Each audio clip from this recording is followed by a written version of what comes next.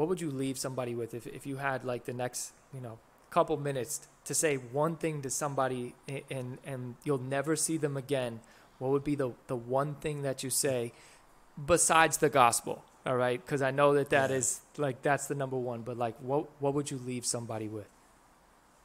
Yeah, I'd have to go with explaining um, that when there's a Christian in your life who is actively trying to influence you, convert you, change you, however you want to look at it, um, you have to know that that's the most loving thing that they can possibly do for you.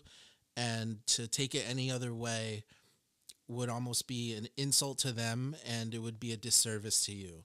Um, what I've realized growing up around a lot of people and, and becoming a Christian in, in in in a place where nobody really was a Christian people were very much you know into crazy things, let alone just the you know the the new age stuff.